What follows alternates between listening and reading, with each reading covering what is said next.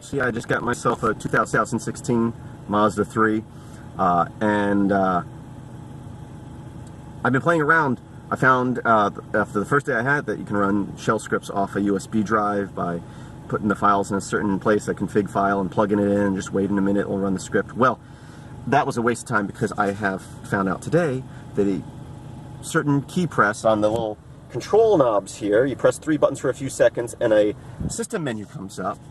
Then there's, you know, got to hold a button for a few seconds and then type in a code, hit enter, and it brings you into configuration menu. And one of the options was terminal. I have a root shell.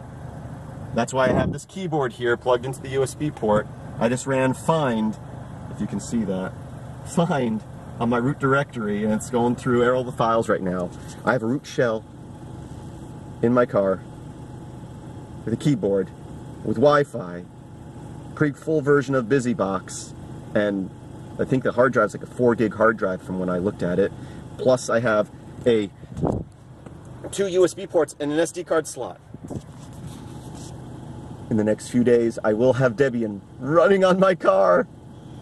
It is a good day. It's like Christmas in a candy shop or something. Cross your fingers I don't brick my car.